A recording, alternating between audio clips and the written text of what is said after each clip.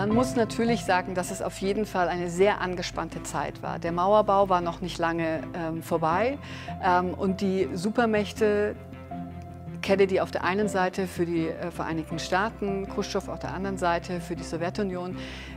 Das war zwischen den beiden noch nicht geklärt. Und der ganze Mauerbau und die ganze Teilung der Welt in zwei Systeme war damals ja noch überhaupt nicht abgeschlossen. Man befand sich, als das alles passierte, auch als der Mauerbau passierte, mitten in Verhandlungsgesprächen, wie man mit der neuen Situation und mit der Feindschaft zwischen diesen beiden Systemen tatsächlich umgehen sollte.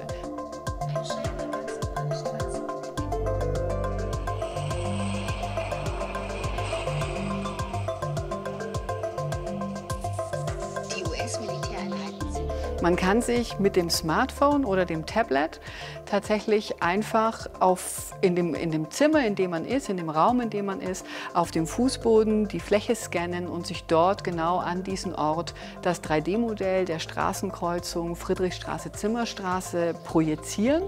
Also für die Augmented Reality haben wir uns entschieden, ähm, weil wir denken, dass es einen neuen Zugang schafft zu dieser Geschichte.